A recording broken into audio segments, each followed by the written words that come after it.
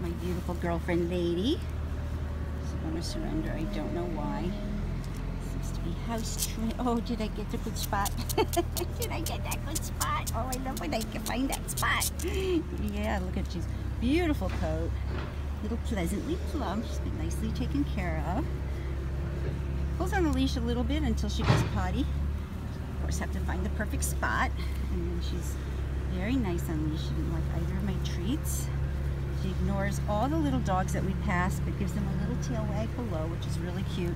And then some of the bigger dogs, she gets bouncy and tail waggy. Would you like one of my treats now, maybe? Come here, lady.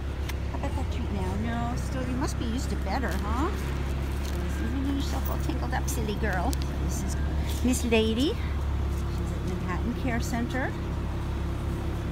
Beautiful, beautiful coat. Got her Halloween scarf on, hoping that she's going to be in a new home to go trick-or-treating.